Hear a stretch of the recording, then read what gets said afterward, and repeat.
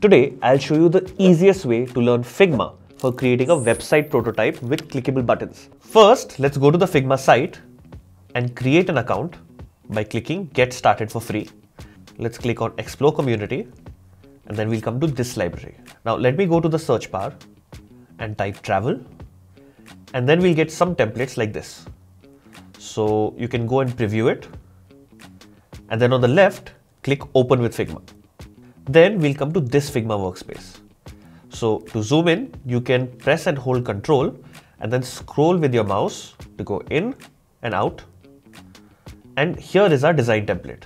So you can double click on any part to select it and then make edits like this. You can also use this left sidebar to select each element and some of them have these lock icons so we can unlock it.